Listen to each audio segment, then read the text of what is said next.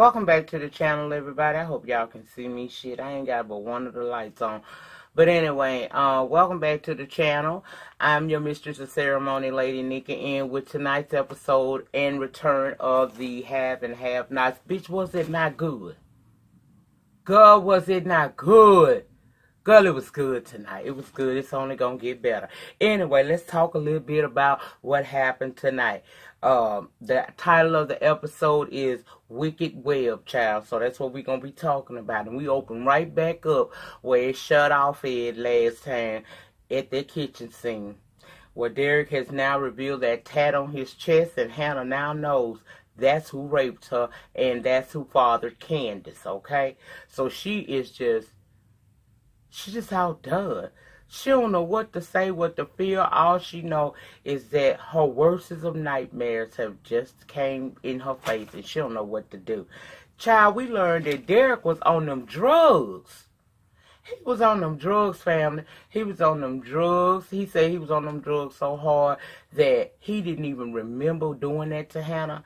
Say he even went to jail that night because he was trying to rob somebody to get some more drugs. So he don't even remember her. But he's asking her to forgive him. That might be a little premature to ask her that right now. That that that might be. Hannah is so traumatized, she just want him to not come any closer to her and just go. And right when she was telling him that, here comes Benny. What's going on here? Hannah don't want to tell Benny because she already know how Benny gonna react. So she don't say anything about that. She just says Derek was about to leave. And he can tell something wrong with his mama, but she ain't coming forth with it. But she done said the words that he been waiting to hear. Gone to escort him out. So he does that. And afterwards he's asking her what's going on, what's wrong. She just say, look, We, we need to call. I need to make a call. We got to get a notary over here to sign that money back over to the Cryers. And he talking about the, what about the interest? She said we ain't asked for that. now over at Justin's, Jeffrey finally get him to put the broken bottle down, and of course Justin starts the "I love you." I you know how much I gave up for you, and Jeffrey, for some reason, is apologizing. Then he told this dude he loved him. See, I don't know what kind of games Jeffrey playing.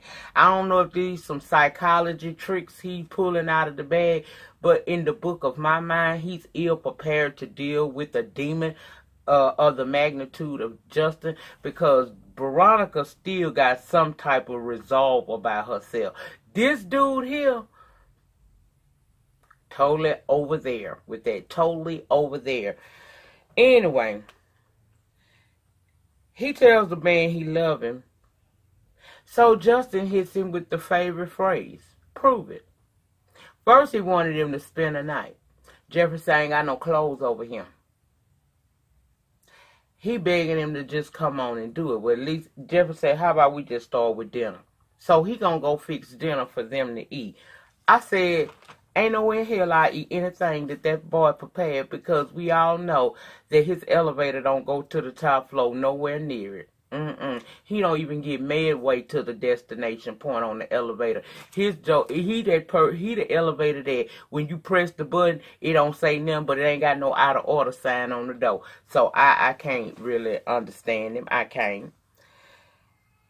Justin try, uh, Jeffrey tries to suggest therapy. Now immediately he thought that meant they going to couples therapy. No, he wants you to go get some help. And he told him you need to go get help by yourself. You know, to deal with that obsession situation that you seems to be going through. He in turns blames Jeffrey because he is obsessed and has and he loved. Is Jeffrey fault that he loved him? Is Jeffrey fault that he um he gave up his family and everything he had for him, and it's Jeffrey's fault that he's obsessed. Sounds like a class A narcissist to me. It ain't never their fault. Everything falls back on you. Child, please. Anyway, Jeffrey sent him in the kitchen eventually to go and start cooking his food. And did y'all see that he had text somebody uh, he either got a text and replied to it, or he text somebody and then replied back to whatever they said. And I'm under the impression that that is Madison. Okay. When Jeffrey, uh, when Justin returned to the area that he was picking up the Jeffrey was picking up the glass from, which I I guess that would be the dining area. He asked him, "Who you texting?" The boy said he was texting his father. He want to know why. To check on him. Justin don't want him to do that. Another trait of a narcissist. They try to isolate you from your family and friends. Now over at the hospital, Madison then got a call from David that he needed his bandages changed ASAP. Madison said he'll be right over there, but he didn't know where Jeffrey was because David asked him that too. So then one of his co-workers come along. I think Keisha was her name and she give he gives her a what if scenario. Old girl was able to break that down real fast. She knew exactly what he was talking about. And she was able to identify the fact that if you ever did date women, it was a long time ago. What she told him is this basically. If you know something that Jeffrey is doing or someone he's around that could possibly cause him harm, why not tell David about it? But both of y'all gonna have to understand that Jeffrey is an adult, so the ultimate decision will lie with him. And that's what she told him, right? So he heads on over there to take care of uh, David's uh, bandages and whatnot. Now back at Catherine and Jim's place, he trying to get it through to her head that they going to jail. Catherine, we, we, we going to jail here. Okay, fix me another drink and let that be what it is. She's seemingly unbothered. Then Jim gets a call from Mitch letting him know that they got a problem. He said the Malones know that it was Wyatt that attacked my uncle. And uh, if I was you, I'd keep him close to you. But the rest of this we need to talk about face to face. I think I'll ride on over there since I know where you stay at. You know, I was the one that was with Benny the other day when they was down to your house clowning and carrying on. Yeah, that was me. Jim want to know who put a hit on his son. Why do he need to stay close to him? Is it Mama Rose? Nope, somebody else. But I'll let you know more later. Click, hangs up in Jim's face. Now back at Hannah's place, she trying to reconcile in her mind, finding out that it was Derek who raped her so many years ago and impregnated her. She called Catherine. Did you set me up? Set you up how? Did you know Derek been to jail before? Yeah. But Hannah, he's been working for me for years. And I assume that, you know, based on what I'm seeing, he's working really hard to leave his past in the behind in the behind and do better today. So that's why I didn't have a problem with y'all meeting. What he went to jail for that you know of? Armed robbery. That's all you know? Yeah, that's all. What happened? Catherine Derek raped me. Let me call the police. Mm-mm, you ain't got to call no police, child. It was years ago. He's the man that raped me years ago, and he's also Candace's father. I had no idea, Hannah. I am so sorry. I'll come right on over there. Now it's done now. I don't need you to come over here. But you do know that I don't ever want Derek to see Derek again, right? I can totally understand that. That means don't invite, don't don't have him come to my house no more, Catherine. Alright, girl, I ain't gonna do it to you. I totally understand. But if you need me, know that I'm just a phone call away. All you gotta do is hit me on my hotline bling, and I'll be there for you in a hurry. Alright, we good. And let your husband know before we hang up. Y'all money will be back to y'all tomorrow. Let your husband know that. I ain't I'm not saying shit to Jim. Well, you need to because I need him to leave my boy alone. All right, Catherine, I will do. I mean, all right, Hannah, I'll tell him. And she hangs up. But see, she ain't let it go because that's her friend. She did what I did. Hung up with her. Dring. Oh, you ain't answering, Derek. When you get this message, call Catherine Cryer, please. Click. By the sound of her voice, he knows she ain't playing. Mm-hmm. Hannah's all kind of discombobulated. She don't know how she gonna be able to tell this man this or nothing. Like, tell this girl that that's her uh, father or none of that. She know about the rape, but she don't know that Derek is her father. Candace and Charles sitting at that White House uh, with that president and first lady, with they sitting up there looking like wax figures in the face, with they fake phony pleasantries. First lady, how did y'all meet? Landon tried to jump in and explain it, but President say let her do it. So she basically get him a cute little story. And it's understood that they ain't been knowing each other that long, but it's love at first sight from what it appears. So they exchange a couple of more pleasantries, then it's time to get up and go. President decides to whisper in Candace's ear that she's a hot piece of little black ass, okay? Which throws her off to the point where she need to go recuperate in the restroom. So after everybody is ushered out, President says to uh uh, J- uh Charles, I don't like you, I don't believe in you. And that girl ain't no good look for you. First lady comes and backs it up. She's sweet, but she's a whore. A bad look. So he taken her back because I know he probably used to the fake pleasantries, but for them to just double back and hit him with the real, real quick was a little bit alarming. So he ready to go. You got Candace coming out of the restroom as the guests are leaving had been sitting at the table smiling in their face the whole time. Two of them battle axes saying, She's cute, but she's not good for him. This country's gonna be ran to hell, but at least he's he's knocking off a hot a hot little piece of ass, and she overhears that. So now she not feeling to be in there either. So it's time to go. But let that be a lesson to some of you who don't know that in real life, them pink people can be like that. Not all, not all. Because I, you know, the pink people that like me, y'all okay with me, honey. Y'all would never conduct yourselves so fake and so phony. But understand they don't think that you're not widely accepted. They tolerate you, but they don't never celebrate you. That's all. That's all I'm saying about that. Over at David's, Madison has arrived and he's changing the bandages and whatnot. And David tells him to call Jeffrey. So he do. Jeffrey don't answer the phone. So David say, call him from my phone. Now he does, and as the phone is ringing from David's phone to Jeffrey, Justin begging him not to answer the call. Went so far as to take his phone and tell him if it's important he'll call back. So on David's end, he then says that he feels like his son is with that boy. Madison tried to stay out of it, but David is adamant because Justin is a new type of dangerous, and Madison agrees to it. Then he told him that Justin is the one that tore up my car. That's why I had to catch me an Uber over here. Mm-hmm. So now David want to know where Jeffrey is. Madison ends up saying, look, I don't know where he is. He just told me he was going to meet up with him, and he texted me the number. That's all I know.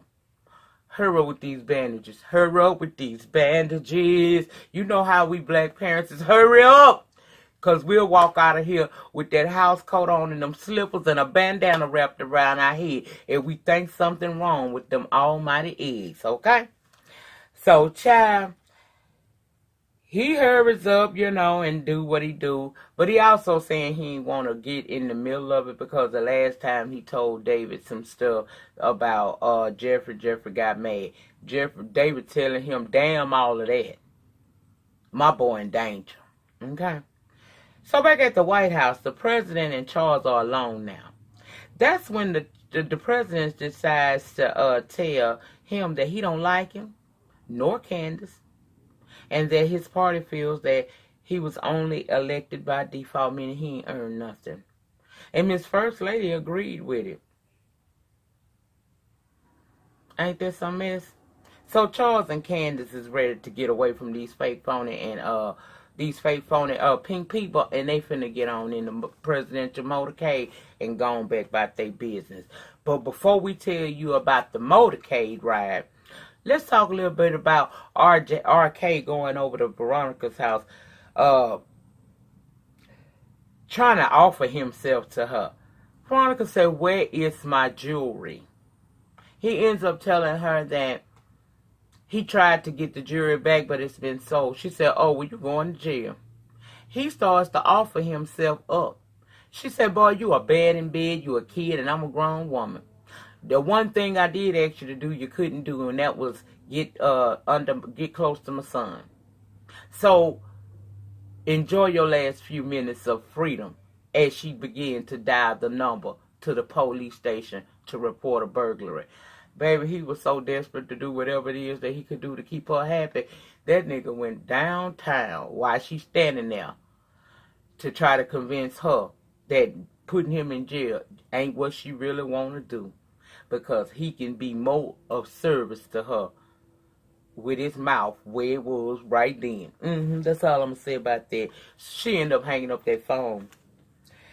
Back at the White House, um, we see the president and that white guy. I ain't gonna even bother trying to know their name unless I see that they appear a whole lot. But y'all know them that group of white men and women that were sitting at that table on last episode before the break where they were conjuring up a way to possibly sabotage uh, Charles's presidency and they had background checked him, found nothing. Background checked Candace, found nothing. But the lead guy, the one that wants to be the president, from what I see, he remembered her because he dated her. Well, he dealt with her when she was in her hooker hoe days. Mm-hmm.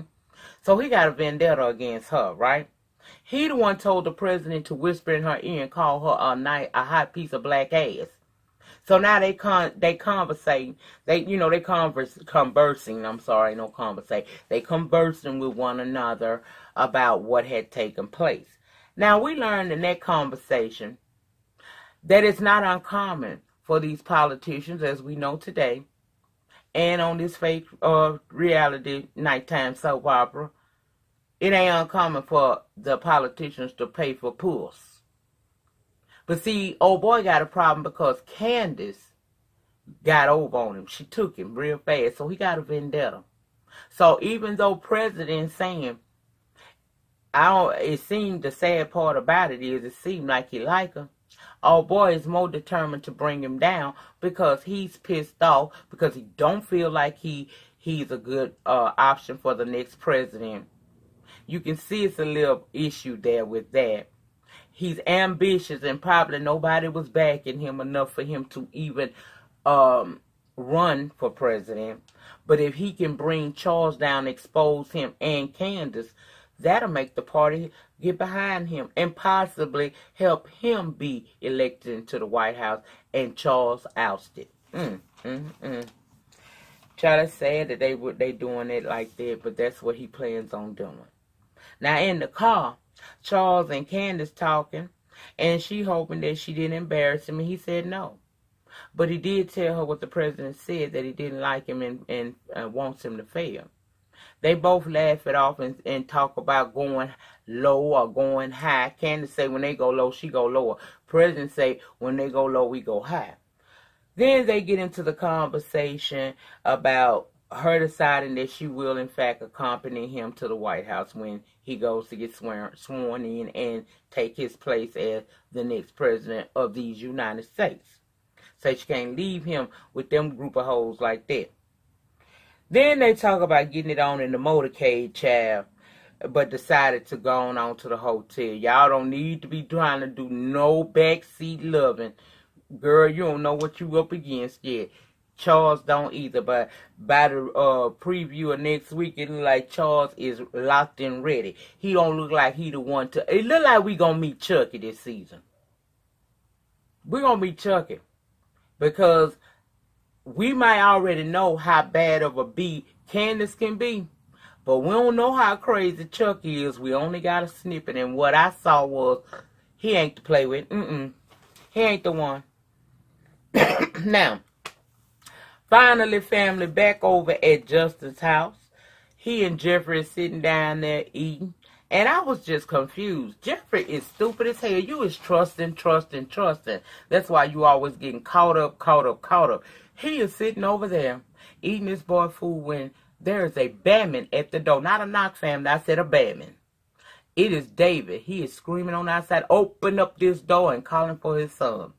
Now, for reasons unknown, Jeffrey go hide in the damn bathroom. Even if Justin told you to do that, I wouldn't have done that. No. Uh-uh. You gonna go hide in the bathroom and you know this, you just said this boy is deranged. You just said this boy is obsessed.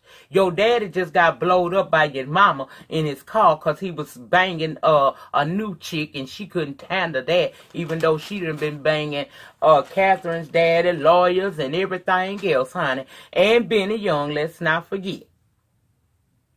You go to the bathroom and this man comes, opens the door. David barges in because he want to know where his son is. I know he here. And what does Justin do? Further proving that he needs a 5150 hold on him immediately, pulls a gun to David's head and says, breaking and entering, I can shoot you. And it goes off from there. Next week, we're going to see what comes of that. I think Jeff going to come out that bathroom. I ain't certain. But that was the return of the have and have nots. I was pleased at what they gave to us. I hope that you was pleased in what you saw and at this review that I brought to you guys tonight. I don't think I left out a thing. If I did, y'all know the conversations can always continue down in that panty section down below. I love to hear from you guys. So sound off, child. Um, tomorrow is my date with Ben. I've already explained that to the my new love things. That is a procedure I have every six to eight weeks. It helps me um, deal with having lupus. Uh, it, it's like my um, it's like my magic my magic pill. It just gets put into my body intravenously. So I will be out tomorrow, and because I'm aging, I don't come back from being as quickly as I used to. So I'm projecting that I could possibly pop back in on Friday, but more than likely it's going to be Saturday. And I'm going to go live from this channel on Saturday and chop it up with you guys a little bit and love on the mothers who love on me all year long. I want to uh, spend a little time with you and chit chat and love on each other. So we're going to go live from this channel. It'll be probably around 2 or 3 o'clock uh, Central Standard Time. Excuse me. It'll be around 2 or 3 o'clock Central Standard Time. So I invite each and every one of you to return. This ain't gonna be no messy live. See, I want to start. I'm not gonna get into these lives like that because it's just simply not who I am. But I do want to. Y'all know how some get right there. Mm, some right there. Oh, I'm going to the nearest off too. But anyway, I just want to um start interacting with some of y'all more in real time. Um, everybody can't afford Patreon, so I do it a little bit here, but I'll give a lot more over on my Patreon. Um, again, this is Lupus Awareness Month. I hope that each and every one of you, if you don't do nothing but take a moment to pray for us. Girl, I don't know what's wrong it's like I'm hot in here, but I had to turn the air off because I'm doing this. But anyway, that's it. That's all. I'll be back Saturday, possibly Friday. I got my day with Ben, so y'all know how they do me sometime. I have to take a couple days to let this stuff get through my body. But I will see you guys on the next upload. You have a great remainder to your week. See you Saturday. Peace.